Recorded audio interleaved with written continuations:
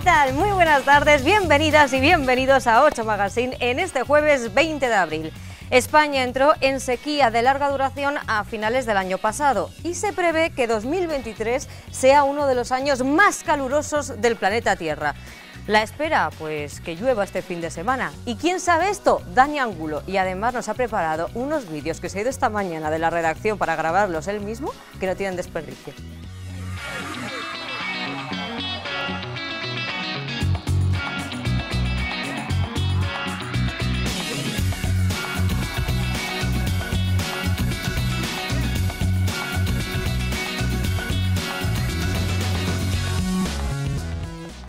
Y seguiremos hablando del tiempo y del campo, porque las heladas de abril tienen consecuencia en los cerezos. Si hay o no cerezas nos lo va a contar hoy Gerardo de Mateo.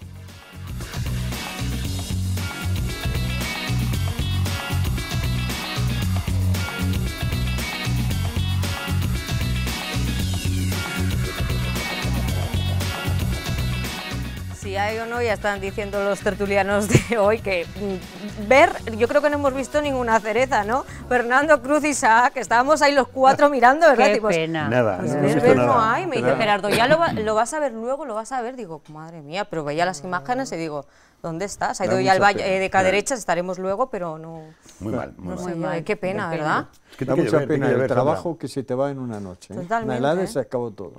Y eso, vamos, es lo que está pasando ahora con la agricultura y lo que está pasando con los árboles frutales y todo eso que está perdiendo. Es una pena. De Pero eso de, la, eso de la pertinaz sequía, La fíjate, cuando estábamos sequía, hablando, cuando éramos pequeños, que lo ya decía se mucho, oía, ¿eh? Lo decía mucho en la época de Franco, Sí, la pertinaz pertinaz sequía. sequía. ¿eh? Y ahora que está también de moda porque eh, Franco nombró socio de, fue nombrado socio de honor De del Barcelona.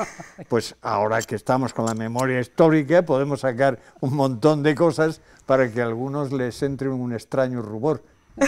O sea, ¿era de- del Barcelona? No, no es No, que no, era de no. Barcelona, es que el Barcelona hacía la pelota a Franco A como, Franco una- para que le como diera- la alta Para que no lo burguesía que había Para que no entonces. desapareciera, Claro. más que nada. No. Sí, sí. Sí, le- Sí, sí, sí, sí. Era el, ¿no? Franco era del Madrid, decían, decían, pero Sí, nada. sí. Yo creo que no era nada porque no, ese no, fútbol yo creo no que no le tenía gustaba. nada. Yo creo que no, no me pega que a Franco no le le gustara el fútbol, que igual me equivoco, ¿eh? Yo creo que no conozco a ese señor de nada. Yo creo que le tenía el pairo. Sí, pero no veo. Eso es lo que le preocupaba, el contuberno judío marxista y la pertinaz sequía. Eso es lo que le preocupaba. Perdona, pero hizo pantanos, ¿eh? También Sí. hay que Sí, darle... eso es verdad. Yo no sé cuándo se hizo el último pantano en este país, pero no lo sé, pero hace ya muchos años, ¿eh? Sí, sí, ¿No? Y hizo un Burgos buen barrio en Bilbao, el barrio de Charcoaga. Fue- Charcoaga. Fue, Franco el que, bueno, pues que llegó allí, vio las condiciones en las que estaba y pues... Mira, Las banderitas, yo estaba en Bilbao cuando Sí. iban con las banderitas, todo el mundo con las banderitas, y la alta burguesía vasca, lo mismo que la catalana, fueron los primeros que aplaudían a Franco en aquella época. ¿eh? ¿Qué Pasa? Algo se Ahora llevaría. todos Oye, son de algo se convergencia. porque- Ahora son del PNV vivían- o convergencia. vivían bien. Sí, sí, sí, claro, Claro, bien. Bueno, vamos a dejar la clase de historia para otro momento. Nos vamos al presente. Yo no sé, como de aquí hasta el 28 de mayo vamos a estar hablando de elecciones y tal, si podríamos traer algunas banderitas o algo. Cada uno de un partido. Eso, Bueno, vamos No, a sorteo paguen, igual, ¿eh? Que nos paguen. eso. Eso. Unas banderitas, algo para hablar de esto. El Partido Socialista, que ha presentado ya su programa, 124 folios, y parece ser que se centran en la vivienda y la cultura. ¿Habéis podido echar un ojillo al plan del Partido Pero Socialista? en general el so- socialista o en, en Burgos, en Burgos. En Burgos. En Burgos yo he leído que de repente eh, vuestro alcalde... eh, ¿Vuestro alcalde no es tuyo? Ah, No, sí, sí. sí, también. De, bueno. de momento sí. Eh, de momento. Eh, ¿Hasta va la a hacer fecha? piscinas, va a hacer gimnasios, va a hacer tantísimas cosas que yo, si le queda algo de dinero y quiere hacer un gimnasio en mi casa, pues yo le dejo. Porque es que va a hacer tantísimas cosas que me he quedado hoy pasmada de lo que he leído en el periódico. ¿Sí? Yo, yo lo, de, lo de la que va a invertir mucho para la capitalidad cultural europea del año 2031, que se va a elegir eh, dentro de cinco años o cuatro años, eh, en el 2026 me parece que está la elección de la capitalidad. Entonces él habla de la cultura, lo relaciona con la capitalidad cultural. A mí me gustaría saber qué es lo que va a hacer para que en el año 2031 en Burgos podamos decir somos la capital Europea de la Cultura. O sea, como ¿Eh? que ves la meta, pero no ves, No ves Lo el, que no el veo- contenido. Claro. es decir, los pasos que va a Mm, seguir hasta llegar ahí. Eso es lo que no ha dicho, porque habla en abstracto. Ha puesto por la cultura, ha puesto por la vivienda, pero hay ni piso, ni cultura, ni gaitas. O sea, lo que tiene que decir es, mira, la cultura, lo que vamos a hacer es esto, vamos a hacer una programación estupenda, como lo hacía entonces, en la época de Olivares, lo hacía Isabel Abad. Hizo una programación de verano de, de cultura estupenda, que era además muy atractiva, no solo para gente para Burgos, sino para gente que venía de fuera. Era un teatro de calle que, que era una maravilla, Fernando ¿no? pide la- dinero para la el animación, teatro. claro, Claro. y para el teatro. Tú ¿Qué? pides y se te dice, ¿eh? que a lo mejor que ¿Por nada. pedir? Es una No, línea que a lo más. mejor tiene presupuesto para para mí, eso. es una línea más, para mí eso de decir, yo voy a apostar, perdón, yo voy a apostar por la cultura, no me lo creo. O sea, que bueno. No, pero es que apuesta por todo, Que Fernando. especifique, que apueste. Tú ¿verdad? lees los programas electorales, me da igual, del Partido Socialista, del Partido Popular, de cualquier partido. Que no hay quien lo lea. ¿Cuánta gente lo lee? Poca. Pues La mayoría es de la gente que va a votar y no lo lee. lo- 124 y no lo lees. folios. A ver, pues, pero es que luego, hay que tener mucho imagínate rato, que lo lees. Y, si es que es que todo es súper bonito. Claro, Es todo mucho, es mucha fantasía. Puedes sacar ahora. Es decir, la- que luego hay que, luego hay que realizar, ¿Quieres luego hay que decir hacerlo. que el programa electoral se parece Luego no se cumple. al cuento Claro. de Sí. Eso te iba a la decir, sac- sirenita? Sí, totalmente. Y, pero el de todos los partidos políticos, no solamente el de este, todos son iguales. Empiezan a contar, de, como dice él, apuestan por la vivienda, apuestan por la cultura, apuestan por no sé qué. Pero luego a la hora de la verdad, ¿de dónde sacan el dinero para todo eso? Porque si coges lo de la vivienda, que sí, que van a intentar buscar pisos de alquiler para la gente joven, Pero si eso que para la gente que les, que, cuento, si es que que les echan de sus casas por tal, les van a buscar unos alquileres eh, Lo van a hacer con la ayuda europea, que- todo lo de ¿y la luego dónde lo vivienda. sacan? ¿De dónde sacan todo eso? Con las ayudas de, de Europa. Pero si es que no hay pisos, no hay nada, si es que no hacen nada. Si es que en este país, si se hubiera empezado. es que Esto de los pisos está muy de moda ahora, ¿no? Al otro día dijo este amigo, nuestro amigo Pedro, ¿no? Que iba a poner 50.000 Uy, qué de viviendas. Pero-. Oye, 50.000 oye, pero viviendas. ¿Y sabes es- la mitad dónde están? Nada, la mitad no pisos. existe, la no otra existe. mitad No existe. está- están para Si hay un, hay un son- cartel donde se vende un uno de los solares que debe de ser en el en No están medio del hechos, hay campo. muchos que no Están están sin hechos. terminar. Son Otros las están viviendas ocupados. que no han vendido los bancos durante 15 Saret, años. Durante 15 años no las han vendido. ¿Qué Ahora, las quiere? os voy a decir Sí. una cosa. A mí lo que me alucina es que esté ofreciendo viviendas cuando tenemos La Palma, que es- con el volcán hubo, los, los pobres gente se quedaron sin viviendas, fue dos veces en el Falcon y todavía no les han hecho las viviendas. Viven en, en viviendas todas de estas mm, prefabricadas. Entonces ni les llega ayudas, ni les llega viviendas. O sea, está ofreciendo al resto de España, primero céntrate en La Palma, que están los pobres desangelados y sin viviendas y se han quedado sin ropa, mm, se han quedado sin nada. Y entonces, ¿por qué ofreces viviendas si, si no, si no nos las hemos a extrapolado, nos hemos Claro, ido nos hemos a ido a- nivel nacional, pero nada, ahora Bueno, volvemos a nivel mismo, o sea, local. al final- Os voy diciendo o sea, promesas, uno piscinas y lo mismo. polideportivo en San Cristóbal, de retorno de talento joven Eso. emigrado, remodelación de la calle Alcalde Martín Cobos, Bueno, bien. construcción Todo, todo, del todo, nuevo todo. Mercado Norte, creación de una feria de turismo cultural y las barracas en el antiguo depósito de la CLH. Ah, Estas son algunas de Eso las... de Ah, las barracas se las ¿para llevan dónde? al... Dicen que sí, dónde? son ellos. a- a- del por antiguo donde depósito. está la universidad. ¿Dónde está la universidad? Ah. Donde estaban unos... Hombre, es que tenía que haber un recinto ya fijo para todos los años. Lo de las barracas es una cosa que es de vergüenza. Uy, el año pasado las De barracas. ¿Cómo Anda que no tuvimos. No, porque están puestas cada día en, en un medio de la sitio, nada. Y yo, que me muevo mucho, sobre todo en verano, y voy a, a ferias y tal, ¿no? A ver, y es que vas a pueblos por ahí, pero pueblos, pueblos, pueblos grandes, pero son pueblos. Y tienen uno- unos recintos feriales maravillosos, pero maravillosos. Y entonces a mí me da una envidia Sí, tremenda. a mí la verdad que cuando un vine, cuando vine a vivir a Burgos me llamó la atención que no hubiera un recinto Un ferial. recinto ferial. No, porque siempre molesta a todo el mundo. Cuando estaba aquí, molestaba aquí. Cuando Pero estaba es allí, que molesta, molesta allí. a todo el mundo, les molesta todo. O sea, así como antes, pues colaboraba todos los ciudadanos con todo el mundo y tal. Ahora no, me molestan las barracas, me molesta el que toca la guitarra, me molesta Nada. el que toca el piano, me molesta el del bar, me molesta. Y es que ¿Sabes todo cuál es el, el final de las todo. barracas? festivales que las pondrán se en algún sitio. aquí, gente que se ha quejado por el, por el Claro, ruido. pues todo eso- Y sin embargo, esos festivales atraían muchísima gente. Hombre, de claro, que el que es lo empezó a que nos está en faltando en Burgos. Ese tipo de festivales, tanto de música como de Pues traían teatro, como muchísima lo que gente, sea. mucho dinero. festivales, grandes Sí. festivales para atraer. Y además eso es inversión, eso es dinero para la ciudad. Y eso es que Claro. gente de fuera conozca la ciudad. Claro, y las barracas son ruido, música, gente, bullicio. Hombre, es colgorio, si no, no claro, sería una feria, Y ahora ¿o qué? cada año Si te das cuenta, tú vas a la barraca y cada día está más bajito todo. Va a llegar el día. Sí, está más bajito. Hombre, muchísimo Pues más no no a una no hora tiene que. No. Y llegará el día que todo el mundo vaya a las barracas con cascos. ¿Qué para dices? que todo el mundo vaya con la Pero música ¿cómo de la vamos a ir como un perrito piloto a por la de- feria? a A ver. Es así, es así. Que vamos a aparecer ruido toda la ninguno, fallera no Lo veremos, Todo mundo te- te veremos. darán- Anda, anda, Te darán unos cascos al entrar, que te, todo Sí, bueno. la misma música. A este rato está. me pongo yo las orejeras esas como si fuera yo la fallera mayor Dale del reino. tiempo, No, dale, no, no. dale tiempo al tiempo. Anda, Tampoco pensabas, Mira, ¿eh? tampoco pensabas tú que iba a haber contenedores con tarjeta, ¿no? Hace unos años. Eso es otro tema. Y ahí están, ahí están. Es decir, que la cosa va evolucionando a mal, a peor.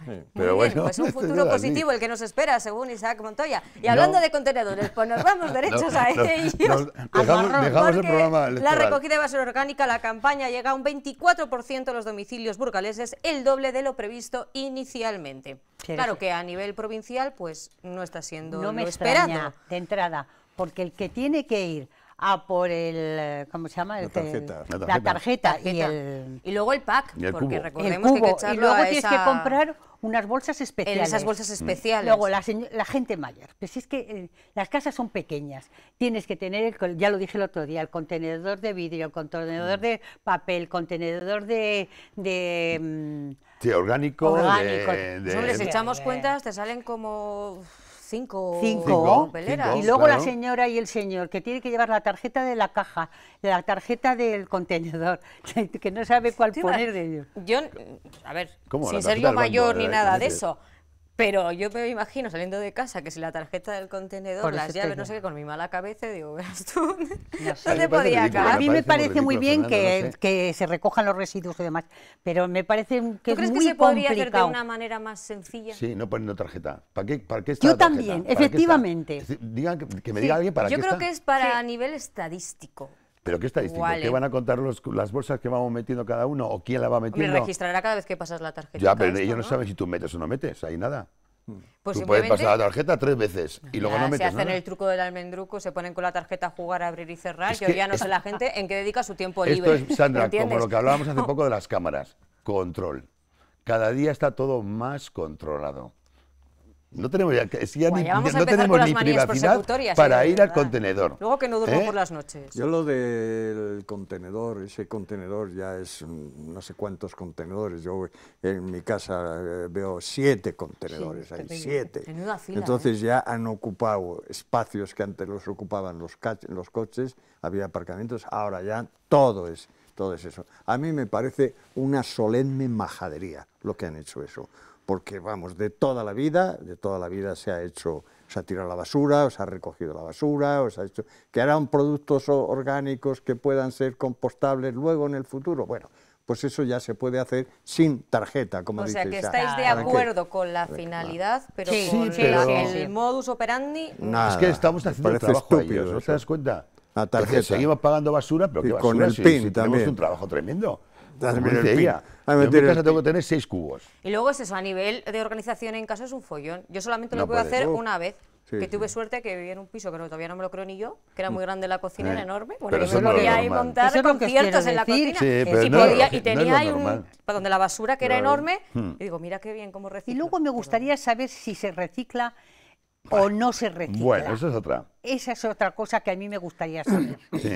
Si una vez que los ciudadanos reciclamos, luego llegan Mm, Que está muy bien, pero... a los depósitos y si se recicla. Esto es como colaborar con una ONG. que a veces decía la gente, no sé a dónde llega lo que el Es que lo de la- el impuesto de basura tiene que La ser basura gratu- igual. gratuito. Gratuito, porque todo el trabajo que nos lleva, gratuito. Totalmente. No tenía que cobrarnos nada.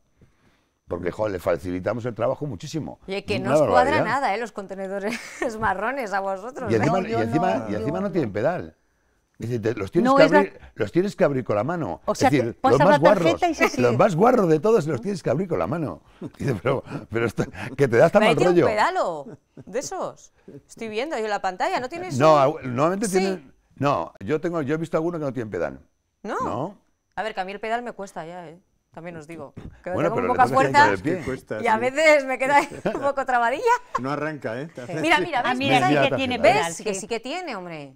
Sí, sí. Sí. Y al pan pan y al vino vino, Isaac. Vamos Bueno, a algunos no tienen, pero bueno. Bueno. Bueno, algunos es no igual, tienen, pero da igual, la tarjeta sobra. Que nada, sí, es verdad. Porque es que dicen que Estoy luego te van a hacer un descuento. ¿Dónde? ¿Por Eso qué? A ver, dicen que cuando eh, lo de la tarjeta, pues el fin es que cuando, luego a la hora de pagar el impuesto de basura. Pero que acumulas puntos como la tarjeta del Sí, supermercado. por lo visto, si usas la que- que tarjeta. te dan Pero premio. eso es el futuro. El futuro que te favor. Que te favor. Pero que Pero luego no Por se cinco bolsas la muñeca chochona Que te no se lleva, va a cumplir ¿no? nunca luego. ¿Pero qué dices eso? O sea, ¿cómo te- Nada, bobadas, barbaridad. nada. Y como dice él, va a llegar el día que no va a haber más que contenedores en las Sí, calles. sí. Todo. Ya verás. Porque Ay, es una pasada, ¿eh? Bueno, pasamos a otro tema que nos quedamos la semana pasada en el tintero. Fernando, a propuesta tuya, porque te llegó Mm. ese comentario de una farmacéutica, y es que faltan medicamentos en según qué farmacias de Burgos. Eh, Faltan, en- yo creo que en todas las farmacias. Yo la información que tengo es de la farmacéutica de, de mi barrio con la cual me une cierta amistad y entonces es la que me dice que bueno que tienen un problema muy grande en las farmacias a la vista de la falta de medicamentos. Y luego es- puedes mirar por la Asociación Española de Medicamentos, en la cual reconoce que hay 700 y pico medicamentos que no se están sirviendo. El problema, y lo que les están diciendo a las farmacias, que utilicen los genéricos o que busquen la manera de poder solucionar al paciente cuando solicitan un medicamento que no lo tienen. Entonces, eh, problema, el por qué surge esto. Bueno, el por qué eh, parece ser que hay muchos motivos. Los principios activos para muchos medicamentos no se están recibiendo por el problema de la guerra, De la por el guerra. problema de lo que sea. ¿no? Luego, por otro lado, también a veces hay un exceso de producción o hay una excesiva demanda, en lo cual reducen mucho la- los medicamentos. Y luego, por otro lado, también hay laboratorios que dicen que como aquí el precio del medicamento está regulado, el resto de está regulado, Claro. pues lo venden fuera porque Claro, ganan más dinero. efectivamente. Entonces, ¿Qué hay- medicamentos ahora mismo hay problemas? Pues que dice la farmacéutica que conoces, me piden tal y Sí, sí. no tengo o tengo que Ahora, anotarlos y avisar cuando llegue. Hay un colirio que se utiliza mucho para la conjuntivitis y que hay mucha conjuntivitis y en esta época suele haber más, pues ese tiene problemas. Y, y claro, los farmacéuticos están reservándose esas medicaciones para sus clientes. Entonces hay muchos pacientes que van farmacia por farmacia para ver si tienen este u otro medicamento. En el caso de la amoxicilina también está ocurriendo que falta la amoxicilina y también falta el tema de ese medicamento que han sacado nuevo para dejar de fumar que no existe. Van a la gente que quiere dejar de fumar y no lo encuentran. Entonces, y la publicidad Total, está que se hecha. meten en O sea, el es plan que para no dejar de Y- fumar y Claro. no vale y de luego nada porque debe no haber la problema también con los cartones y los blister para poderlos mm, fabricar. Porque con esto de la guerra parece ser que, pues, que no les llega. Y claro, los laboratorios tienen sus problemas. Es que siempre ha pasado en España que ha habido mucho laboratorio de investigación de solamente laboratorios de envasado, porque laboratorios de investigación no hay muchos en España.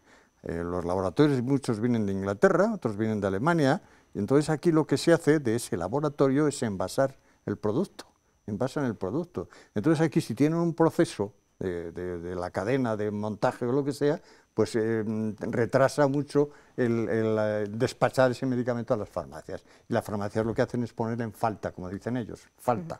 En vuestro caso, ¿sabéis tener algún problema para conseguir algún medicamento? No, yo no. yo no. Mi marido sí, uno de ellos eh, ha tenido problemas, pero le han dado un genérico. Bueno, No. había alternativa. Claro. No, no. Yo he hecho, tra- he hecho un trabajo de campo, de eso que he ido a preguntar a las farmacias. Es que Isaac es muy, sa- es muy mi sano. micrófono y mi cámara, ¿eh? Es muy sano. Equipo de Es investigación. No le hace falta nada. No me hace falta nada, de momento. A ver. Ya llegará, y, ya. ya, y nada, y, y- y es más o menos lo que dice Fernando. Lo que pasa es que la, la falta de medicamentos va cambiando cada 15 días. A veces son unos, otras veces son otros. Hombre, claro, y todo es porque siempre dependemos mucho de los principios activos, sobre todo de los países asiáticos. Pero es que nos pasa en todo, en la farmacia, los coches, en la informática, en no sé qué. Siempre dependemos tanto de los asiáticos que cuando hay algún problema, pues entonces estamos fatal. Pero es que están acaparando el China y la China, India, está acaparando todo. están acaparando, según he leído yo un informe, el 80% de los medicamentos en Europa.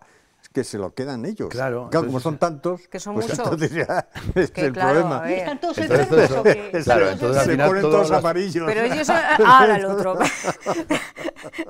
A ver, son muy aprensivos. Igual, pues yo qué sé, dicen, ay, por si acaso. Acaparan. Pues me lo quedo, Claro. ¿sabes? Pues en vez de una Sí, sí. cajita me quedo tres. Por lo sí. que pueda ser. No, es que además son muchos, ¿eh? Entre China e India, fíjate tú, los, los que hay. A un catarro que coja cada uno, ya me dirás. Dejas sin medicamentos a todos. ¿Eh? Dime, Cruz, algo. Eh, no, pensé que ibas a decir algo. Sí, Sí, luego tiene, luego tiene. Ah, luego, vale. Pues nada, nos vamos a ir con una celebración. ¿eh? Porque una madre decidió hacerle una tarta a su hija para celebrar que había conseguido un puesto de matrona en el hospital. Total, que la tarta se ha hecho viral. Ahí la estamos viendo. Ay, qué mona. ¿Qué comentas? ¿Qué comentas de esa tarta? Pues a ver, ahí, tenemos yo, aquí a un cocinero Yo. y a una cocinera Sí, aficionada. sí, Algo podréis comentar de Sí, esto. mira, que está hecho con fondant y, y es una cosa Y que... dulce de es- leche, rellena de dulce de leche. incomible, incomible. Bueno, es decir, calorías miles. Os puedo decir que no me extraña que la matrona haya hecho esta tarta. que a mí me Pero si parece está súper clara, o sea, a ver, Sí, si- pero es que obvio. te voy a decir que Si no le falta un detalle, o sea, podemos verlo. Siendo yo soy eh, enfermera militar y una de las cosas, sí. Sí, sí, pero que las- como enfermera militar, No, ¿cuál es tu opinión una de las cosas que más bonitas presencié yo en el hospital militar fueron los nacimientos de los niños. Es una emoción de tal manera que no me extraña que la matrona haya hecho Mm. esa tarta, muy- es muy significativa y es demasiado expresiva. Es, pero es muy, eso es muy gráfica. Sí, o muy sea, gráfica. Está claro. Es que aunque Qué no pusiera matrona, estaba claro que porque que- sí, a hombre. lo que se iba a dedicar Claro. su hija. Es una tarta un poco de los años 90, ¿sabes? Por mucho pelo ahí arriba, no sé, yo creo que eso escasea bastante. ¿Es seguro que es de ahora esa tarta? ¿Es de esta época? ¿Eh? Ay, por favor. De verdad que haya ¿Eh? sido todo tan perfecto que no le ha faltado ningún, no le ha faltado ningún detalle. Oye, ningún pero ¿habrá de detalle. todo en la viña del señor? Bueno. ¿Hab- ¿Habrá quien nos haya apuntado a la moda del láser? Bueno, bueno, no sé yo, un, un porcentaje muy pequeño. ¿eh? Oye, ¿por qué? ¿Eh? Hay ¿Sandra? quien no se depila las axilas. O sea, quiero decir, pues Bueno. tampoco lo hará abajo. O sea, no sé, no todo el Un día mundo. hablamos de eso, pero yo creo que no. ¿eh? A ver, que queremos que el chiringuito nos dure hasta junio, por favor. ¿eh? Ah, bueno, Sí. no. Hasta San Pedro tenemos que seguir. Hasta San Pedro. Bueno, es original, es original. Ay, es original, hombre. Es original. que- Me parece muy gratuito, Es o bonita, sea, bueno, tiene su significado. Muy representativa, Sí. original, muy potente. Y además hay que verlo todo con naturalidad. Si es que yo creo que estas cosas antes se asustaba la gente, pero ahora, si es que ahora ya no nos Pero si es que al de final nada. nos escascandalizamos de cosas Pues tan naturales. Sí, esto somos es así, tenemos todavía la vena esa como niño pequeño de ¿sabes? caca, culo, pedo, picha, de tampoco. Sí. pues es que esto es obvio, a ver, ¿no? Han echado, y, le ha echado imaginación y, y de cierto, verdad. cierto arte Hombre, también arte para tiene, hacerlo. claro. Porque Oye, ¿el niño no cómo es? Es Claro. una monada. Será, será un ¿cómo ha muñeco, eso no se comerá, ¿no? Yo creo, Pues yo creo lo que se lo es comerán, muñeco. seguro es que un se lo comen. chocolate, igual sí que Sí. se come. Sí, Sí. ¿Por qué no ah, se sí, seguro. Ay, no sé. Sí, que será tienes que haber chocolate. A mí me parece que es un muñeco, o sea... sin Hombre, edad como entera. ¿no? Decir, yo me voy a comer la nariz, yo me voy a comer la oreja, ¿no? Yo el pelo. Eso da un poco de entera, eso ya. Sí, el pelo. El pelo parece, es igual es de chocolate. Sí, el pelo de chocolate, está Sí, claro. Sí. Yo Eh. creo que A mí sí. me parece que es un artista, la mujer que ha hecho esto, de verdad. No, es original, es tiene, original. que tiene su gracia, hombre. O sea, es Hombre, total, Yo estoy parece. totalmente de acuerdo que tiene su gracia, Yo creo que, que, está tiene- muy bien hecho. parece- y- hace gracia, pues porque hace gracia, Y hay pero me parece verlo. una maravilla. O sea, hay que verlo Tiene- con naturalidad. es un Tiene, artista, ¿qué tiene- que tiene su mérito, ¿eh? Claro. tiene su mérito. Yo no soy nada manitas para hacer esas cosas, pero veo tanto como Cruz como Isaac que lo están alabando un poco en No, el sí, no, sentido está ese de imaginativo Está y de trabajo sí, que sí. lleva. ¿eh? O sea, que eso Al final en la me cocina parece se valora bonito. mucho la imaginación, la creatividad, y está claro que a esta mujer le sobra. Y además que es que es muy gráfica, muy bien. Sí, sí, sí. Bueno, y lo importante es que la hija ha conseguido una plaza fija. Efectivamente, que tiene trabajo. Enhorabuena, por fin. día- Sí, señor. Eso sí que hay. Es difícil. No me extraña que a la mujer pues le hayan entrado ganas de Hombre, no, celebrarlo a lo grande favor. y a todo lujo sí. de detalles, como debe ser. Está muy bien. Vamos ahí con ese momento protesta. ¿Qué queréis Cruz, ¿qué protestar? Yo quiero protestar que los, Oh, que los senadores, te ha hecho así con el dedo, ¿no? que los senadores burgaleses- A ver, cuidado. Te estás Los señalando. senadores burgaleses y los senadores en general han votado en contra de que llegara a Burgos el corredor atlántico y que se pudiera, a- que, que hicieran inversiones en Burgos y en la provincia. Y quiero decir que en las próximas elecciones que lo piensen, porque estos señores no quieren que lleguen a Burgos. Estamos en campaña electoral. Yo, yo Ah, ya- pero ellos han votado en contra ¿eh? de que llegue a Burgos todas esas inversiones. Cruz, y el- piénsate lo de traer la banderita Sí. a las tertulias. No se me lo- nota de dónde soy. Nada, Yo- nada, pero una, pero No, vamos. yo no he notado todavía. Prima hermana de la Montero.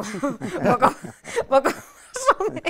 Estaban contentas la Montero y, y oye, oye, mm, buah, buah. Pero qué cara tiene el presidente Pedro Sánchez. ¿eh? ¿Qué cara? Que ¿Dónde ha ido, estaba que no ha Sí, sí. ido. No hay. Pero ¿y dónde estaba Es que de ver, Estaba que en en Huelva, este país de- de cerca de vergüenza. las marismas de Doñana. Sí, estaba en Doñana. Estaba por Ah, allí. pues Sí, regando porque su no, no jardín. quería Sí, claro. nada ahí, ¿sabes? Hay don Regando Falcon, al ¿eh? Hay jardín don, hay de don Falcon para no y gastar. regando su jardín para ir de veraneo a las mm, marismillas, que es que va allí, Yo, que- ¿sabes? yo mi momento Eso. protesta es por qué no dimiten esas ministras Jo, y el presidente. Fernando. ¿Por qué no- Pensaba que ibas a decir... ¿Por qué no dimite? Es que han dicho cuando dimite, me ha hecho así. Pensaba que le ibas a decir que No, se no, iba no, este. digo, ¿por qué no dimite? Te lo juro. Me he quedado Dimitiría asustado. Me muerto. me La he quedado poca muerto. vergüenza que tiene este gobierno, que es poca vergüenza, porque hacer lo que han hecho, hacer esa mamarrachada personas. de ley que han hecho y, no dimitir, pero mira que por menos ha ¿Pero qué van a dimitido. dimitir Oye, aquí en la época de Aznar? Estaba de ministro Aparicio y tuvo que dimitir por una Ya, cuestión de es leyes, que- ¿eh? y ellas, o sea, y dimitió sueños- y dimitió otro también y otros han dimitido unos cuantos. pero Que Pero pausa, estos no, pausa. que me están pausa. diciendo por el pinganillo Sí. ¿Qué, que te recuerde. Cruz Ah. que Cristina Ayala. ¿Qué me habéis dicho? Eh, digo, una llamada, una llamada. Que votó en contra. Se confundió, También, que se, se confundió. Se confundió. diciendo A mí esas aquí. confusiones siempre me mosquean, ¿eh? Siempre me mosquean. tengo aquí el- Porque es para lo que se confunde. Eh, Sí, pero de sí, todas sí. maneras puedo decir que Cristina Ayala se puede confundir perfectamente como se confundieron otros y como nos confundimos todos. No creo que Cristina Ayala apoye al PSOE, vamos, No, ni nada, a Podemos. para nada. Ya, pero hoy cómo se han juntado Partido Popular y PSOE.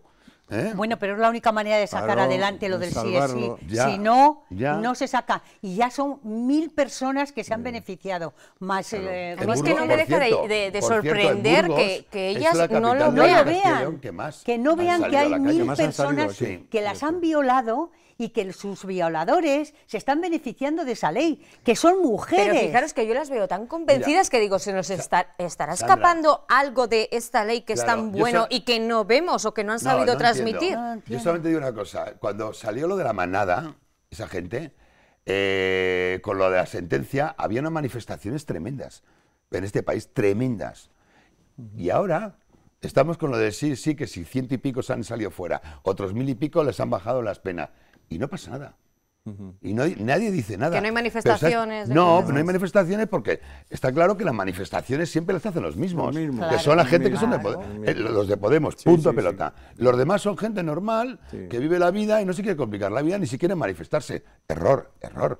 Pero es así, porque no pasa absolutamente nada. Pero- es decir, tan delito es, perdona, tan delito Sí. es que salgan ciento y pico personas a la calle de este índole que lo que pasó con esta gente.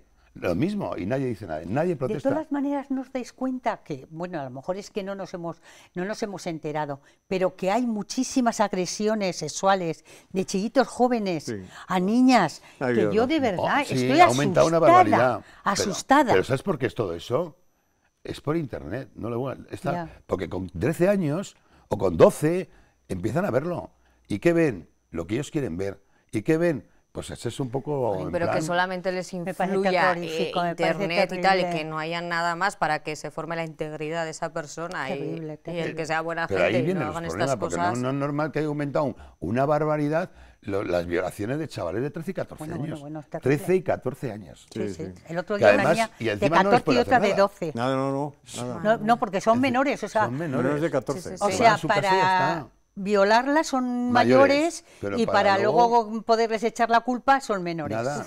Los pelos de punta. Es, La es terrible. bronca luego les, les castigará a su padre sin salir un par de fines Están amenazando a los padres de las niñas de 14 y 12 años, la familia Ya. de los chicos. O sea, que Pero muchos, hay narices que los padres apoyen a los hijos. Sandra, O sea, es- hay que cambiar muchas cas en este país. Madre de Dios. Hay que empezar a cambiar. No sé si nos llega una vida ¿Eh? para, para Yo no todos sé si el yo. presidente, no me estoy cambiando. Ay, ay, ay, bueno, sí. Si se que- a ir todos los males cambiando el muñeco, no nos iría ni tan Hombre, mal en la Ya vida. te aseguro yo que cambiándole mejorarían muchas Yo cosas. no sé si voy a llegar al todo lo que tiene alrededor. que es que telita. Que yo no sé si voy a llegar ¿Cómo no al vas a llegar cambio. al cambio? ¿Cómo ¿Al cambio de no? presidente Hay que o- muchos Al cambios. cambio de todo. Ah, bueno, eso no vamos a llegar ninguno, ya te lo digo yo. Pero oye, un placer teneros Lo por aquí, mismo. ¿eh? Lo mismo. Muchas gracias. Que paséis buen fin de semana. Lo mismo. Lo mismo. A ser buenos. Eso. y hacemos una pequeña pausa para la publicidad y en unos minutitos estamos de vuelta en 8 Magazine.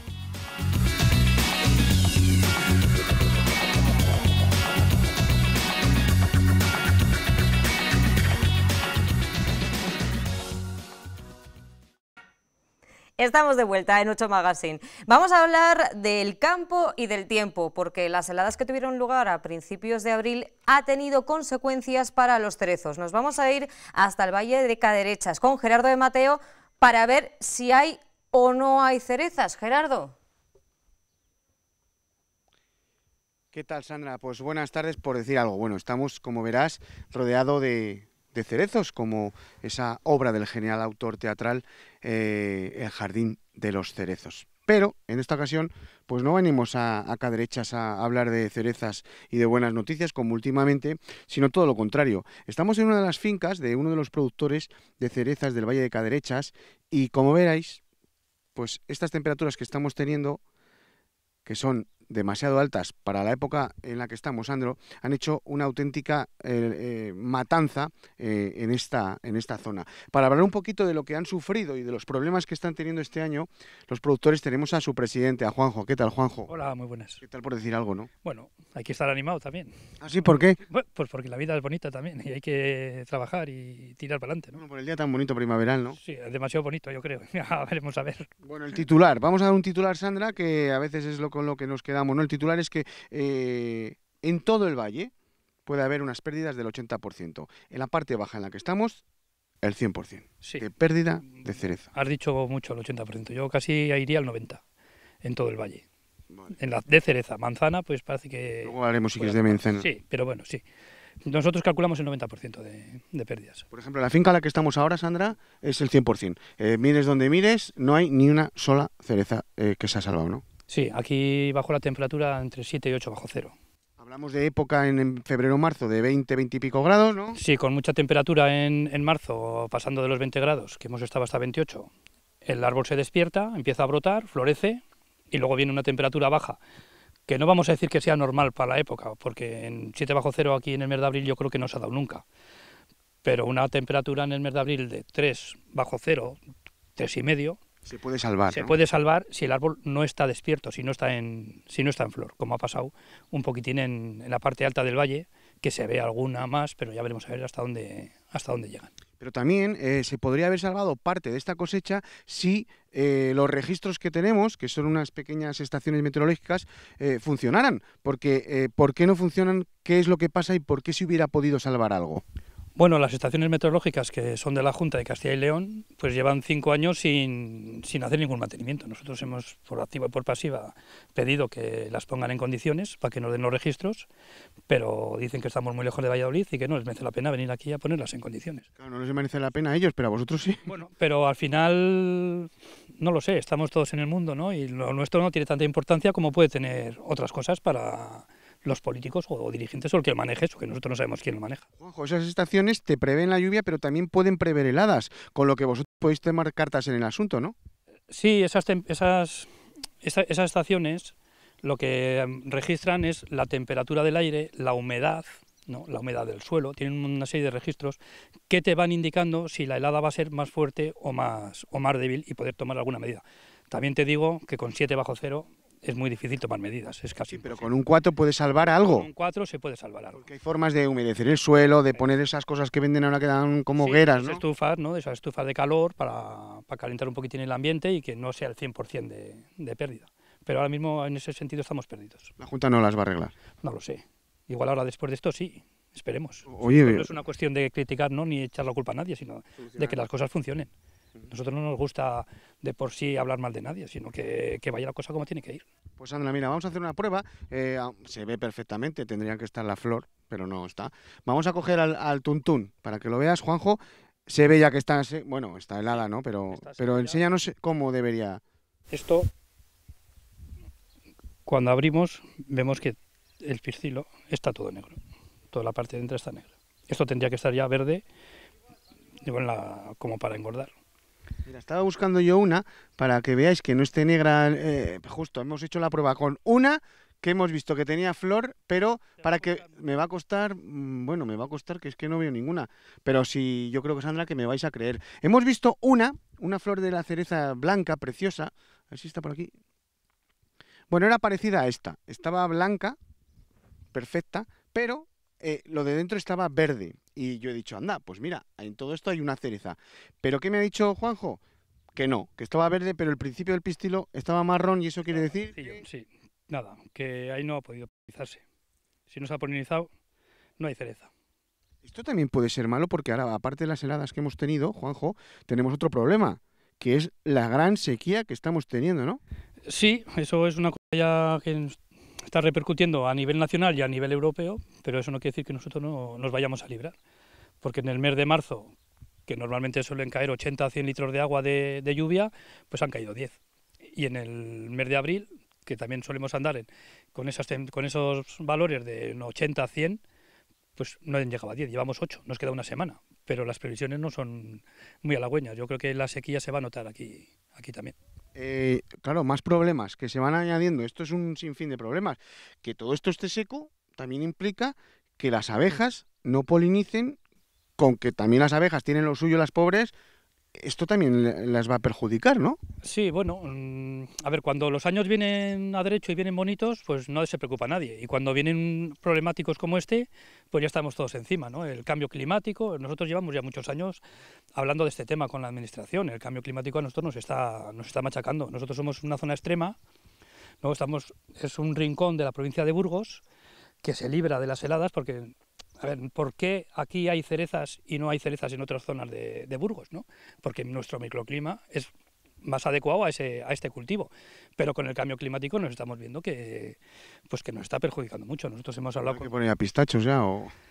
Eh, pues, mm, sé, no sé, oigo creo que chumbos. Lo mejor será ir a pedir a la iglesia, ¿no? a la iglesia a pedir y ya está, porque la administración no nos hace ni puñetero caso, vamos. O sea, es que no hay nada que por dónde cogerlo. Palmeras y cocos. Agroseguro... mm, Ah, esa es otra, esa es otra. Ahora que has dicho agroseguros. Claro, eh, otro problema es que eh, los seguros no quieren que, que os aseguréis. No, no, nos están echando del seguro poco a poco, o sea, no nos dejan asegurar. El tipo de seguro lo que hace es, por las producciones de los años anteriores, solo te deja asegurar cierta cantidad de fruta y cuando hay dos o tres años seguidos, pues, por ejemplo, yo en las manzanas puedo asegurar 100 gramos por árbol. Eso es media. Eso es media Manzana. Una manzana cada dos árboles. Si yo tengo una manzana por árbol, el agroseguro ya dice que tengo cosechón. Entonces, es que eso es obvio que no. Bueno, pero el sistema funciona así. Eh, Yo lo que creo es que no está, la administración no está preparada para lo que nos viene encima. Entonces, lo que te decía, los años buenos, todo el mundo jiji jaja, y los años malos, bueno, pues que se fastidien dos o tres. Madre mía. Vamos a darle un poquito la vuelta a la tortilla. En nuestro programa, Sandra, tú sabes como yo que siempre intentamos darle la vuelta, ¿no? Me vengo aquí, porque aquí, bueno, de momento, eh, otra de las cosas, eh, de las joyas de esta zona es la manzana de caderechas, la manzana reineta de caderechas, la tenemos aquí, en la que, bueno, pues podemos ver que no ha sido tan fuerte la helada como con la cereza, ¿no? Sí, viéndolo ahora la manzana es cuando empieza a florecer, a abrir las flores, ya vemos que las flores viejas que están todas heladas se quedan atrasadas, ¿no? Y el árbol saca flores que estaban más dormidas, ¿no? Y, y esas tienen mejor pinta. ¿no? Aquí tenemos una, dos, Por ejemplo, vamos a abrir una que en teoría está bien, a ver si... Sí, cogemos una así, esta que tiene ya los, los pétalos están un poco quemados, pero lo que tenemos que mirar es si el pistilo tiene bien, si tiene, se le ve verde, Verde, ¿no? bueno, tenemos un poco de esperanza en que la manzana pueda salir adelante. También tenemos que tener en cuenta que en este grupillo que vemos aquí, si, nos, si conseguimos librar tres manzanas, Algo es algo. pues casi estaría bastante bien. No es como los cerezos, que con tres cerezos no sacas producción. Aquí la manzana, pero aún así sí que podemos ver así a simple vista pues que habrá un 70, un 80% de flores estropeadas. Pero bueno, ahí hay esperanza, por lo menos de momento. Hay que tener un poco de alegría. Ante todos estos problemas, Sandra, ya me tengo la última duda. Eh, claro, aquí hay eh, eh, dentro de unos meses se celebra, se celebrará o se celebraba una importantísima feria de la cereza del Valle de Caderechas, que a día de hoy supongo que no se sabrá absolutamente nada. Es más, eh, todo hace indicar que como esto, como no sea arriba haya cereza, no se puede hacer, ¿no? No, el tema es muy complicado. Ahora mismo los planteamientos son muy, son muy pesimistas. Hay que ¿Cómo vais a hacer sin cereza? No se puede, ¿no? no se puede. La gente se tiene que dar cuenta de lo que tenemos encima. Si nosotros no tenemos cereza, no podemos hacer feria. Se me ocurre a mí una cosa. Como hay que darle la vuelta a todo, Mm. podemos hacer la, la no feria de la cereza del Valle de Caderechas. Ya pensaremos algo. Y si la administración no nos hace caso y los habrá que coger imaginación. ¿no? Compramos percebes y hacemos la feria del percebe en Valle de Caderechas, ¿no? Los seguros no responden, la administración tampoco, pues igual la gente que quiera que con nosotros sigamos cultivando fruta, pues pueda ayudar de alguna manera. Pues qué, mejor, qué mejor que reivindicar con la no feria de la cereza. Sí, sí, algo haremos. Ahí te lo dejo. Tú siempre buena tienes esa. buenas ideas, sí. Claro, hombre. Claro Eres que un- sí. Eres un crack, una máquina. Pues Juanjo, gracias. Y que, bueno, pues en este caso que se nos vuelve un poquito la manzana y sobre todo el Valle de Arriba, que, que ese 10-15% lo salvemos. Bien, está- en ello estamos. Gracias. A ti, a vosotros. Pues Sandra, hoy las noticias no son buenas, la verdad, pero bueno, hemos querido estar con ellos. Cuando estamos a las buenas, siempre estamos. En San Pedro siempre nos regalan esa cajita de cerezas para todo el equipo. Este año no va a ser así, pero por lo menos vamos a apoyarles para que dentro de dos nos den esa cajita de cerezas. Sandra. Claro que sí, Gerardo. Siempre al final tenemos que informar, entretener, a veces son noticias buenas, otras malas, pero oye, ahí vamos a estar nosotros siempre apoyando. Y aunque estamos en abril, eh, muchos eventos que van a tener lugar este verano en la provincia, pues ya se van perfilando, completando esos últimos detalles, como es el caso de Dibujando por Mambrilla, que será del 11 al 13 de agosto. Y uno de los miembros de la organización nos acompaña, Igor Velasco. Muy buenas, ¿cómo estás? Hola, muy buenas tardes. Como es tradición, él siempre que me entrevista y me encanta, le he dicho, ya estás con tu cuaderno. Él está siempre con su cuaderno, él no puede parar de dibujar. Mm. Bueno, siempre ¿no? intentamos eh, sacar partido a cualquier ocasión para poder dibujar un poco.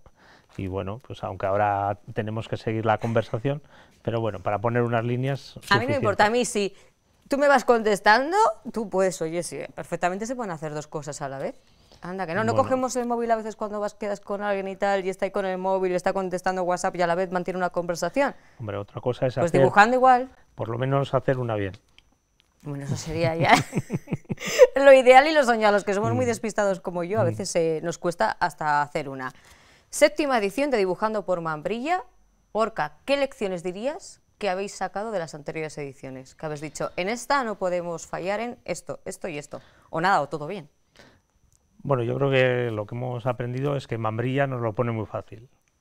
¿no? Nos lo pone muy fácil porque Mambrilla Castrejón, mm, que es una metáfora de la ribera, ¿no? nos da suficiente juego como para atraer eh, mm, personas in- interesadas en dibujar en sus cuadernos desde un montón de, puntos diferentes, más cercanos, más lejanos, ¿no? y a la vez Mambrilla nos lo pone fácil porque eh, todo el mundo está eh, deseando colaborar con nosotros, deseando colaborar con esta actividad, ¿no? Y bueno, pues así vamos eh, solventando todas las circunstancias que se nos van presentando en la organización. Y entonces todo eso nos da pues, eh, confianza para presentar en este momento el cartel de la séptima edición. ¿Cuántas personas han pasado ya por este programa? Pues tampoco es que hagamos un, un recuento, ¿Pero ¿no? más o menos por año o cambió que en la Mm. primera edición las plazas eran más limitadas y el año pasado fueron Eh, más? mm, ha ido evolucionando. Nosotros el primer año hicimos una convocatoria solo de mañana. Al año siguiente hicimos mañana y tarde. Y al tercer año eh, pasamos a hacer el fin de semana completo. Entonces este es el, cuarto con, con este formato de, de- con, de con posibilidad, con posibilidad de eh, alojarse ¿no? en, en- en la Casa Azul y en, y la eh, Casa del Rollo, en las casas rurales de, que colaboran con nosotros. ¿no? Y también hay posibilidad de participar solo el sábado o en cosas O puntuales. sea, que no tiene, si nos inscribimos podemos elegir, es decir, no, puede, no tiene por qué ser el fin de semana completo en caso de que no podamos. No, nosotros tenemos, eh, ¿no? siempre lanzamos un programa que incluye todo el fin de semana, pero también hay mucha gente que viene y se acerca expresamente el sábado a participar en la jornada central de, de Dibujando por Mambrilla. Gorka, ¿y para qué surge Dibujando por Mambrilla? Mm, bueno, Te voy a decir el eh, por qué, pero es que el para qué es más práctico.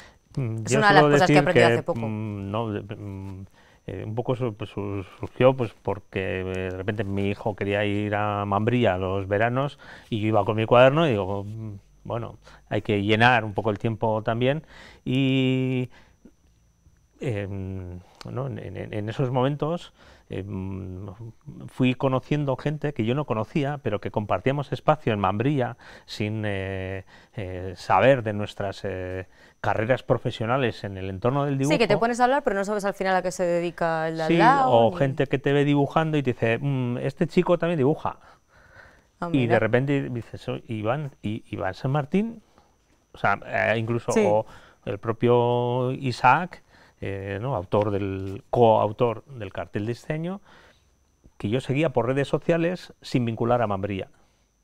Anda. Po- Porque tienen una categoría eh, artística que, mm, que en Mambrilla queda diluida pues porque es el hijo nieto de Raquel, porque es el hijo de Adolfo. Sí que por- esos títulos pesan más que, Eso es, ¿no? Yo, que el de pues, méritos propios. pues soy el nieto de María y Dionisio y nadie sabe muchas veces lo que haces profesionalmente. El nieto de Anita o no, éramos, en e- funcionábamos en esas categorías. Pero de repente te das cuenta que hay, mm, bueno, eh, eso, que coincidíamos personas con eh, carreras profesionales muy importantes en el tema del dibujo. Y en un momento dado eh, mm, contactas ya eh, eh, con estas personas, o con Javi Uson, que yo le seguía también porque sabía que hacía cosas, había dibujado eh, cosas eh, sobre Mambrilla, pero no nos conocíamos personalmente. Y de repente contactas por, más por las redes sociales y dices, oye, hay que hacer algo. Y de repente, pues unimos un poco esfuerzos, unimos eh, intereses mm, y lanzamos Y la- hasta el día de hoy, casi a las puertas de la séptima edición. Comentabas antes el cartel, ahora lo vamos a ver, pero ¿quiénes han sido los encargados de elaborarlo este año? Pues este año eh, eh, lo han elaborado de manera conjunta un, bueno, un colectivo, un dúo artístico y creativo y, y, bueno, tiene muchos eh, eh, adjetivos que poner este em, que se llama eh, La Oveja Estelar, que es la unión de Estelar Abajo y de Isaac eh, González San José, que firma artísticamente como Diez Ovejas y ¿no? pues han creado ese, ese colectivo ¿no? para eh, aunar y para proponer eh, diferentes tipos de, propuestas artísticas. Y entonces, entre ellas, tenemos la suerte de que, nos han elaborado este, este cartel tan sugerente. Hablar de novedades este año no sé si es muy precipitado o si podemos dar algunas pinceladas de cómo va a ser esta edición, esta séptima edición. Bueno, nosotros más o menos eh, tenemos un esquema ya que más o menos Sí, funciona. hay cosas que funcionan y que se van a ¿no? repetir. Eh, eh, luego vamos, vamos añadiendo pequeñas eh, novedades, vamos, eh, que bueno, generalmente, mm, a veces por sencillas que, sean, tienen por detrás, mm, hay que trabajarlas, ¿no? Mm, nosotros, digamos, lo más novedoso, un poco sobre lo que estamos, que puede ser, es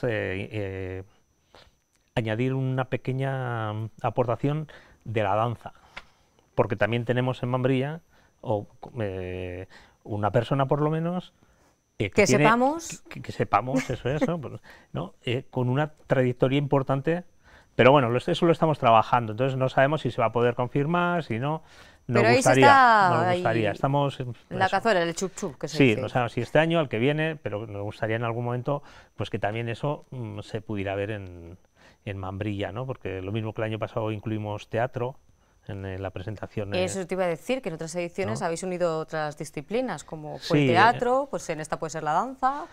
al final no creemos importante reivindicar también ¿no? ese tipo de, de, de carreras eh, más o menos profesionales Que al final es arte. que eso es no Eh, de gente que está por allí simplemente paseando por Mambrilla pues en, en los veranos o en, en los tiempos de, de vacaciones y decir bueno pues eh, eh, no yo creo que eh, sobre todo porque la gente de Mambrilla todo eso lo está eh, recibiendo con mucho cariño, con mucha ilusión. ¿No? Sí, que sienten ya eh, dibujando por Mambrilla como suyo.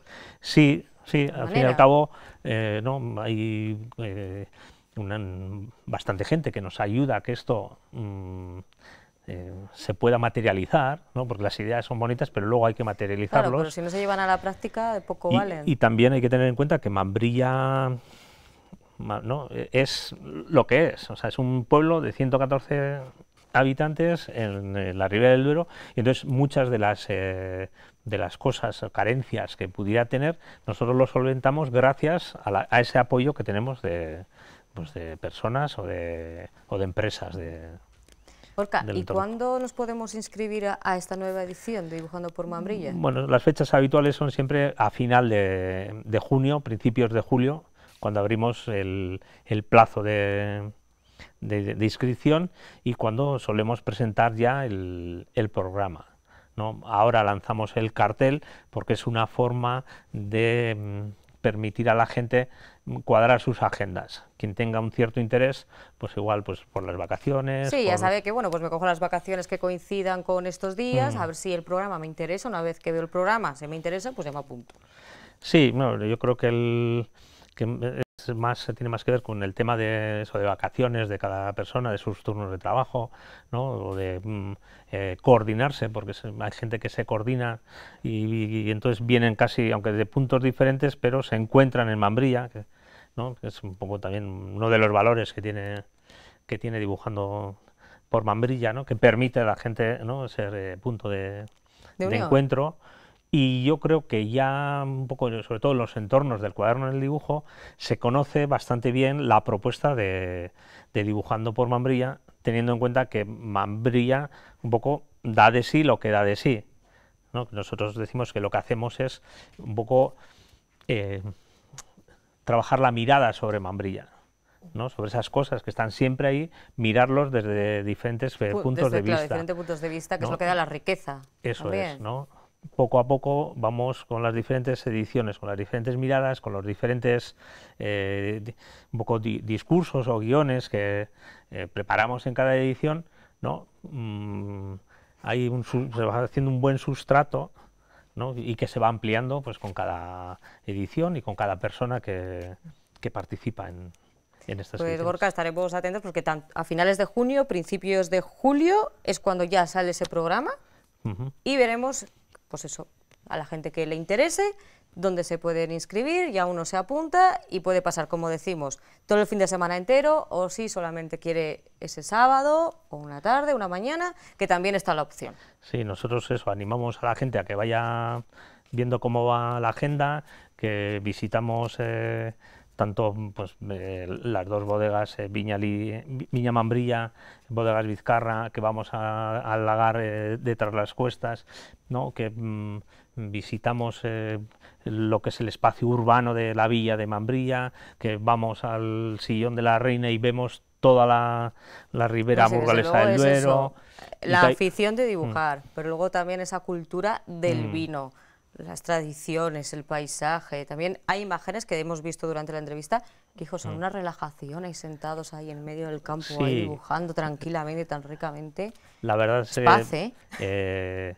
No se crea un ambiente muy especial porque la gente está conviviendo durante esos tres días, incluso gente que previamente no se conoce, pero Pero eh, hay, oye, hay puntos de unión y, y vete a saber luego si surgen sinergias, hay Mm. colaboraciones o no sé, o proyectos que uno tiene en mente, de repente conoces a alguien que te ayuda a sacarlo adelante. Y luego nosotros, eh, ¿no? un poco remarcando esa idea de que dibujando por Mambrilla es un encuentro a la medida de Mambrilla, queremos eh, también que la gente que igual esas fechas eh, no puede acudir, eh, pueden acercarse en cualquier momento del año a Mambrilla, disfrutar de Mambrilla, disfrutar de esos valores que tiene Mambrilla como metáfora de la ribera, que solemos decir, y incluso utilizar nuestros guiones, utilizar nuestros discursos en torno al vino, en torno al agua, en torno al paisaje, ¿no? y disfrutar, disfrutar tranquilamente de todas esas posibilidades que ofrece Mambrilla de Castrejón. Orca, muchísimas gracias por estar con nosotros en 8 Magazine. No te he dejado dibujar mucho, Bueno. perdóname, hablo mucho, lo sé, es, Bueno, es, es lo que tengo, no, no callo. eh, hem- hemos venido a conversar. Pobre, no he dejado dibujar nada. Un placer tenerte por aquí. Igualmente, Sandra. Y vamos a hacer otra mini pausa para la publicidad y a la vuelta nos espera Daniel Angulo para que nos diga la previsión del tiempo, si se van a mantener estas temperaturas, si no, si va a llover, si no, bueno, todo eso nos lo responde en unos minutitos.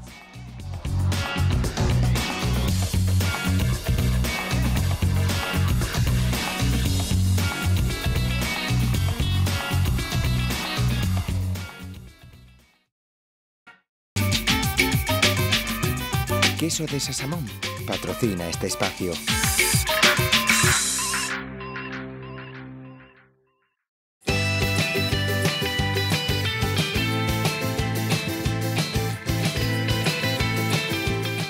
Estamos de vuelta en 8 Magazine. ¿Cómo estás, Dani Angulo? No bailas, no me acompañas. O sea, me siento súper sola, es súper Es que, hija, triste. de, hoy he comido, tal- es que después de comer uno se siente así como un poco... ¿Pero qué has comido? De, son horas de un poquito Pero de... depende de lo que comas. De descansar y tal. Oye, me, veo- me estoy viendo ahí en el monitor que tengo un pelo, me voy a poner- que me parezco a las abubillas, esos pájaros que tienen una cresta. No, que me lo dice tu compañero Gerardo luego.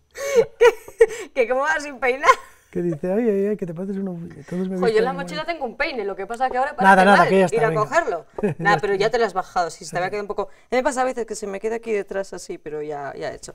Bueno, hemos bailado, nos hemos peinado, hemos dicho que hemos comido mucho y que da mucho sopor ahora, Damos un poco de sopor, sí, claro, cuando comes así un poquito. pues, pero no pasa nada, las cámaras enseguida te activan, ¿eh? Sí, te activan sobre todo las luces y tal. A mí me pasa, a veces vengo con un sueño que me muero y veo las cámaras, focos y es como ¡zum! me da Dices, chute. Tienes que ponerte porque, claro, Todo es así, todo por mi público, por supuesto. Dani, ¿cómo ha ido la semana? Pues ha sido una semana en la que hemos tenido un poquito de todo, menos lluvia, eh, pero bueno, parece ser que ya como noticia, ¿no? Porque estamos deseando que va a haber un poco de lluvia, pues eh, va a llover durante el próximo fin de semana. Pero bueno, eso lo diremos en el pronóstico. De momento la, semana empezó con frío, con heladas, algunas escarchas, heladas, porque los cielos han estado despejados completamente. El cielo azul y los cielos despejados han estado, ha sido la noticia durante esta semana hasta hoy, que hoy estaban un poco nublados cuando venía. El lunes, pues al estar los cielos despejados, por la noche se escapa el calor y eso favorece que el aire se enfríe Primero se enfría el aire en contacto con la- el suelo y luego se va enfriando.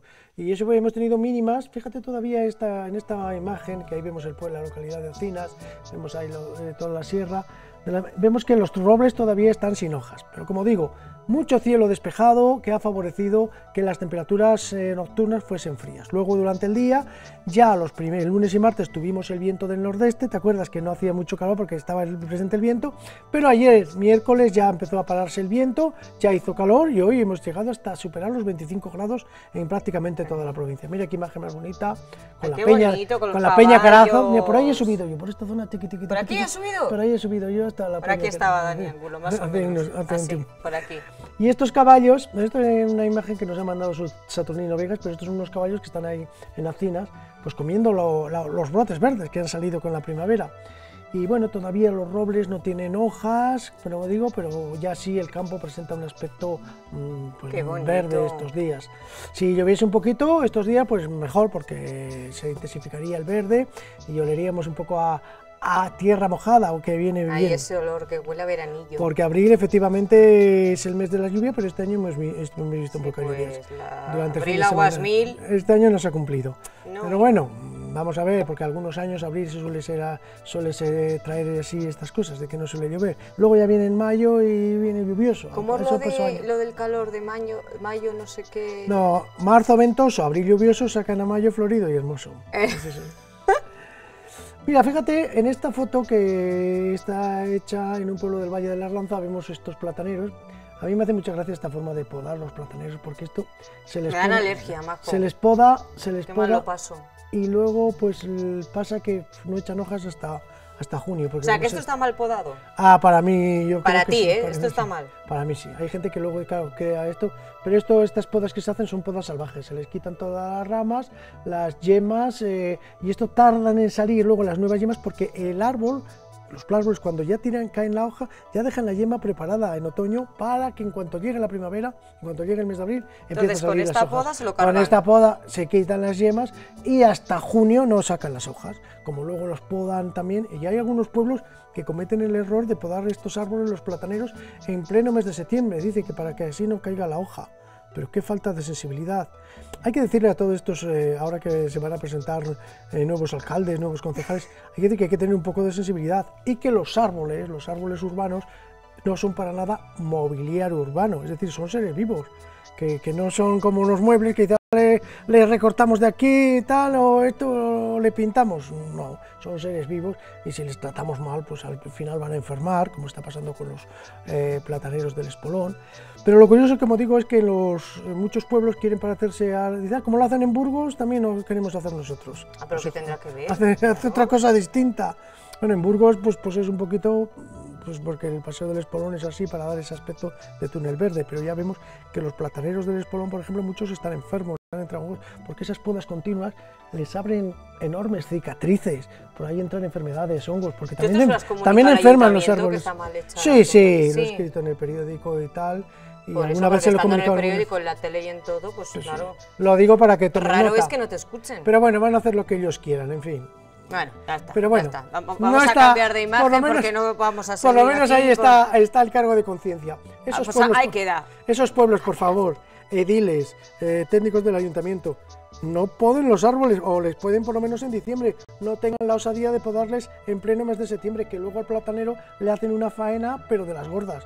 Vamos, en fin. Vale, cambiamos, Bueno. cambiamos. Tranquilidad, tranquilidad. Mira, ayer ya empezaron a aparecer nubes altas, el atardecer este atardecer en Villanueva de Muyo, y vemos ahí esos blancos son endrinos, ciruelos, que ya están en flor. Los cerezos están en flor, algunos han helado en el Valle de Cadechas, pero bueno, algunos han mantenido Pero y ahora, fíjate que, y ahora dicen que están han en flor. perdido casi el 100% Ujú. De la cosecha. Mm, Vamos a ver cómo, cómo resulta. Un porque 90% decían. Luego Es parece que eso, luego algunas siempre se salva, ¿eh? Sí. Sí, otros años ha pasado así que helado, qué tal, y luego siempre re- algunas, eh, algunas salen. Es verdad que, Bueno. que no va a ser un año de cosecha buena, pero Hombre, bueno. tal y- no, ya- mucho tiene. luego difícil, siempre ¿no? a- luego se luego se recupera alguna ya hablaremos en junio, Vale, vale, junio, ¿y yo? y ahí te recordaré esto Y recordaremos esta yo tengo la experiencia de otros años de que ha habido helado y dices, ¿ha helado el 100%? Bueno, eh, Bueno, bueno, vamos a ver. pues ya a ver. veremos En a ver. algunas zonas, depende de zonas, porque no siempre hiela en todas partes, lo que pasa Bueno, que, bueno. pues ya veremos a ver cómo baila Miguel. Si baila mal o baila bien.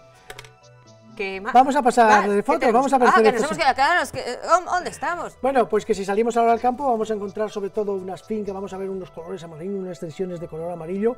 ¿Y qué es esto? Pues esto es colza, el cultivo de la colza.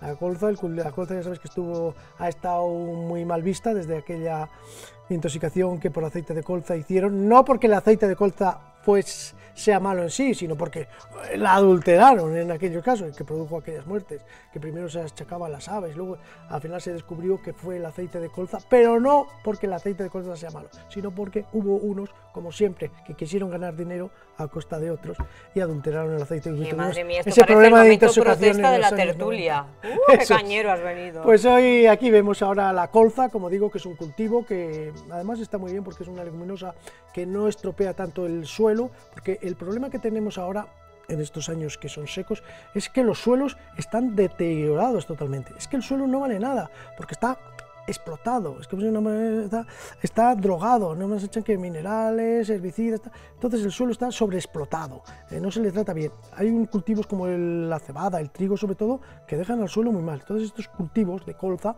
vienen muy bien al suelo porque le ayudan a crear nitrogenados, etcétera, etcétera. Entonces, eh, bueno, pues ahora están, como digo, floración la colza y vemos esos, esos colores amarillos por nuestros campos. ¿Y también están en floración los, pues mira, ahí estábamos en un pue- un pueblo que se llama Garganchón y hemos visto esos endrinos.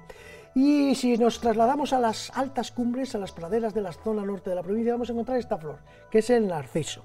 Allá en las zonas montañosas, tanto por ejemplo en la montaña palentina, incluso en las praderas donde hay humedad, o en el norte de nuestra provincia, y en la sierra también, estos días han florecido los narcisos, que es una flor muy bonita, se les llama también en algunas zonas lirones, eh, pero es muy bonita. Mira, incluso aquí tiene la visita de un insecto. Esta nos la han mandado No desde- podemos desde la sierra. el insecto. No, está muy difícil de... Posiblemente sea un chinche de estos. ¿Un chinche? Chinche. Pero es el narciso, como digo, que estos días pues ocupa praderas y es una zona muy bonita, sobre todo las zonas húmedas. Así que tenemos que acudir para ello pues a zonas altas de la sierra o del norte de la provincia. Vamos a ir pasando porque, como digo, sin duda también está estos días en floración. Mira, esto es un detalle de una de la flor de un, de un cerezo. Nos lo mandaban desde el, eh, desde el Valle de la Lanza. Tenemos cerezos principalmente covarrubias, pero también les hay en Puente Dura, les hay por toda la zona esta del Valle de la Lanza. Y esta es la flor del cerezo en detalle. Algunas han helado, otras no, como estas que vemos. No todas han llegado a helar. En el Valle de Calderechas habría que ver, a ver un poquito más adelante, esperar a ver lo que ha pasado. Tú dices que esperemos, pues no.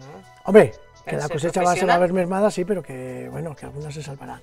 Siempre, siempre. Parece ser que sí que se ha estropeado todo, pero luego siempre empieza a aparecer cerezas alguna.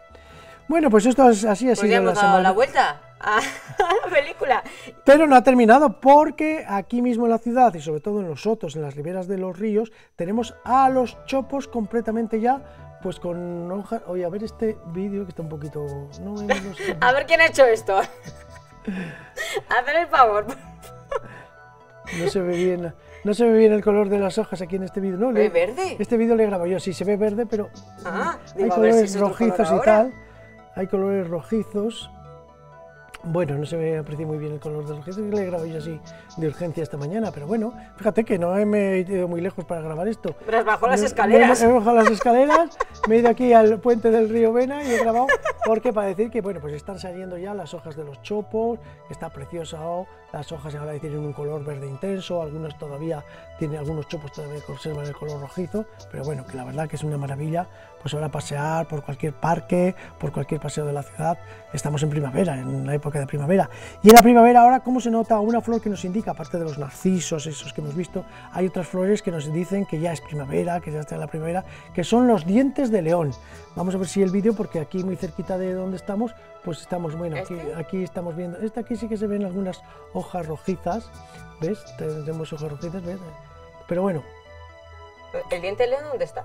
el diente de león ahora va a salir en el, Ah, próximo, vale. en el próximo vídeo. Vamos a ir. A ver. Mírale. Ahí está, ahí está. Mírale, mírale, este es el diente de león. Esas flores amarillas que crecen en las praderas, mírale por todas partes que está. Este es el diente de león, como digo, que estos días pues inunda. Mm, Lo que pasa y que este es un indicador de que la de que primavera, ya está, más que instalada. Lo que pasa es que estas flores al final, como pasa la, la cortacésped, otra reivindicación. Pues a la cortacésped Otra, las cortan todas. Es que tienen una costumbre de, de estar todo el día estar con desbrozadores, cortacésped, con ruido, aparte que nos inundan de ruido. En cuanto crece un poco la hierba, dice, venga, pues déjenlo que eche un poco. Entonces, dentro de unos, días, seguro que hay una cortacésped por aquí que arrasa con todas las chiviritas, que arrasa con todo el diente de león. Te estás quedando ya a Hacen gusto, cosas. ¿eh?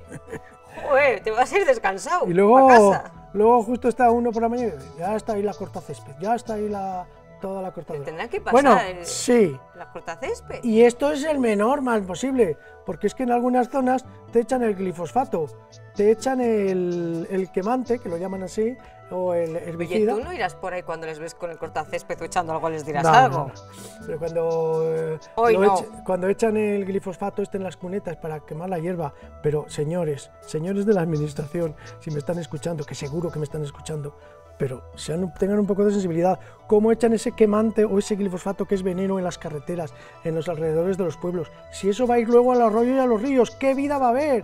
¿Cómo va a haber caracoles? ¿Cómo va a haber cangrejos si llenamos todo de veneno? En fin, Madre mía, Dani, que se hace ¿cómo cada estás? cosa. No, es que el otro día Estás precisamente... aprovechando de que tenemos más tiempo. ¿eh? Fui ¿Cómo por la carretera, sí, fui por la carretera de Cardeña Jimeno y allí ya me encontré que habían echado el glifosfato, el quemante, ya todas las hierbas, como se veía el veneno. Si este año no hace falta, no, que está creciendo la hierba porque no está lloviendo, pues no echen ese veneno, que es muy perjudicial para todos, para el medio ambiente. Y aparte que es, es un producto cancerígeno, que por ahí por la, carre- Malo, malo, por la me ha carretera claro. pasea mucha gente, que al final no eh, va a nosotros. Pues utilicen, ahí sí, utilicen eh, eh, como se hacía antes, cortar la hierba, no el veneno y el glifosato. Yo no sé quién responsable de la administración hace estas cosas, de verdad. Pero que es que se ve cada cosa, una falta de sensibilidad, que eso es lo que tenemos que exigir a los nuestros em, en las próximas, en las próximas elecciones. Por favor, sensibilidad medioambiental ante todo. Que salgamos a la calle y veamos un ambiente acogedor, un ambiente de vida, no de muerte. Pero no decías que no te presentabas este año para concejal. Pues nos estás soltando aquí. Pues, ah, pero bueno, la noticia, Ay. la noticia buena. Ya Yeah. ha salido. Este vídeo le vamos a repetir, porque en el río, Atentos que lo repetimos. en el río Vena ya tenemos los primeros patitos. Mira, este es un macho de Ana de Real y ya tenemos ahí las crías, los primeros patos. Esta era una pareja que estaba muy orgullosa de haber sacado ya pues estos patitos, estos patitos que vemos, esos por ahí. Ay, qué. Son los primeros de la temporada y esos pues apenas tienen un día. Un día hace dos días Sí. han salido ahí del huevo. Seguro que muy cerca de donde estamos trabajando, porque esto está aquí grabado aquí cerca, había un nido ahí con 11 o 12 huevos. Ahí estaba incubando durante 18 días. La mamá pato está incubando y han salido ya los patitos. Fíjate qué magia es la primavera y qué cosas ocurren al lado nuestro. Qué bonito. Si respetamos la vida, si somos eh, generosos con la naturaleza, la naturaleza nos va a reportar muchas cosas si la tratamos bien. Como estos momentos mágicos, alegres, como ver las flores. Pero, hombre, hay que respetar un poquito la vida. Los árboles, que son nuestros hermanos. Lo he dicho muchas veces aquí, plantemos árboles, plantemos árboles por todas partes. Alcaldes, nuevos concejales que van a Y salir. seguimos con la. Zonas que están un poco así baldías, zonas que están, por ejemplo, sin, sin sembrar, pues plantemos árboles. árboles, árboles. Que, nos si no, no tenemos cómo abrazar un árbol. Y los que somos muy nerviosos tenemos que abrazar árboles para que nos lleve de buena energía, de buena vibra. Uy, que tenemos tres minutos solo para el mapa. Que Ah, está, claro, pues la eso. campaña. Oye, la pero campaña, noticia, no, que tenemos los- noticia, los que tenemos, pa- que tenemos los primeros patitos. ¿Cómo muy les cer- llamamos? Y muy cerca de nosotros, además. Bueno, los patos de decir que suelen sacar hasta 11 12, pero muchos son depredados por bisones, nutrias, etc. Bueno, pero estos tres han llegado a buen puerto. Eso se ha llegado de, de momento. Ay, calla. Pues vamos con el Pobre pronóstico. pato. Vamos con el pronóstico del tiempo. Mañana tenemos cambios a la vista. Por fin va a llegar la lluvia, se va a inaugurar el fin de semana con lluvia. ¿Por qué? Llega ese frente, como vemos, por la tarde. Hoy ya hemos tenido nublado, pero mañana va a haber chubascos, además que pueden ir con tormenta. Vemos que va a haber toda la provincia, más o menos, pero más por el oeste, va a haber chubascos, en esta zona incluso tormentas, y que va a llover además de forma ya más seria, más abundante, por el oeste de Castilla y León y también por Galicia. Por Galicia lo hará por la mañana, luego por la tarde, esos chubascos, esas lluvias, este es el frente que nos llega mañana, se irán trasladando hacia el, el interior. Así que mañana por la tarde, tormentas y chubascos. Y luego ya de cara a la madrugada del sábado, pues ya vamos a tener lluvias, ese frente va a ir cruzando y va, ¿ves? Va a ir cruzando ese frente y nos va a dejar lluvias. Esto como es a mediodía este mapa, pues ya el frente estará por aquí a mediodía. Es decir, que ya a mediodía ya habrá caído lo que te uh, haya tenido que Ya no va a caer. llover. Ya no va a llover. A partir del mediodía ya Oh, pero poquita lluvia. Sí, ¿eh? va a ser poco. Pero bueno, sí que va a llover algo, de, como digo, de madrugada, llega ese frente, luego habrá algunos chubascos por la tarde, pero de distribución irregular, y ese frente dejará lluvias de madrugada y por la mañana. Luego se irá, se abrirán claros, y este día van a bajar las temperaturas, porque tras el frente siempre llega aire más fresco. Así que si mañana vamos a tener, por ejemplo, 24 grados de máxima, el sábado nos vamos a quedar con 18, 19, pues que está bien. Ya digo, lluvias por la mañana, cielo amanecerá muy nublado, decimos, uy, qué día más gris, tranquilidad, que luego a mediodía ya saldrá el sol, escampa. y luego algún chubasco débil por la sierra, poca cosa, eso para el sábado. Avanzamos ya en el fin de semana, el frente ya se aleja, el domingo, ojo, porque entra viento del noroeste, el domingo va a llover en el Cantábrico, no va a ser buen día para ir al Cantábrico, va a estar lloviendo ahí en el Cantábrico, en Pirineos va a llover, y en nuestra provincia va a llover en el norte, por la mañana, ¿eh?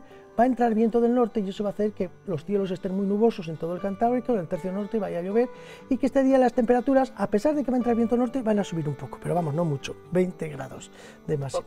Ya digo, lluvias en el norte este día, sí que va a estar lloviendo toda la mañana y por el sur no, por el sur va a estar despejado, por el sur de la provincia. Entra viento del norte, pero este cambio de tiempo va a ser solo el fin de semana, porque ya la próxima semana otra vez vuelve el tiempo estable y vuelven a subir las temperaturas. De hecho, el lunes, vamos a ver ya el mapa del lunes, que es un avance, ¿ves? ya ha desaparecido la lluvia, bueno, se queda muy aislada. La lluvia habrá algunas nubes, pero desaparecerá la lluvia y este día vuelven a subir las temperaturas, el viento otra vez será flojo, ya tendremos máximas de 21-22 grados. Y en los días siguientes, como avance, a partir del martes, miércoles sobre todo, ojo porque las temperaturas se van a disparar y serán días como hoy, de 24 25 grados. Es que nos dijo ayer David, de Cultura de Flor, que había escuchado que la semana que viene íbamos a alcanzar los 30 grados. Vamos a ver lo que pasa. en Y, yo- y Burgos le Capital. dije, pues le preguntaremos a Dani, aquí el profesional, para que nos diga. ¿Esto Sí, ve las próximas semanas van a subir las temperaturas porque se va a colocar una borrasca al oeste de Portugal y que nos va a enviar viento del sur, entonces sí van a subir, pero vamos a ver, porque 30 grados es, es mucho, vamos a ver cómo evoluciona la próxima situación. Sí que es verdad que el miércoles por ahí podríamos alcanzar 26, 27 grados. Pero vamos a ir viendo y ya el Poco jueves... a poco, ya el jueves ya hablamos del asunto. Y sí que parece que para, la gente que está esperando lluvia, que podríamos llegar a, mm, a principios de mayo, podrían llegar, llegar algunas lluvias Pues nada, necesarias. habrá que esperar a mayo. Dani, muchísimas gracias. A ti, un placer estar contigo. Que con tengas todos buena ustedes. tarde. La termines bien, ¿eh? Igualmente. ¿A que te has activado ya más? Sí, ya me he despejado. ¿Ves? Ya se ha despejado. Si es que este programa no falla, amigo. Es así. Muchísimas gracias por estar ahí. Que regresemos mañana a las 16.40. Feliz tarde. Adiós.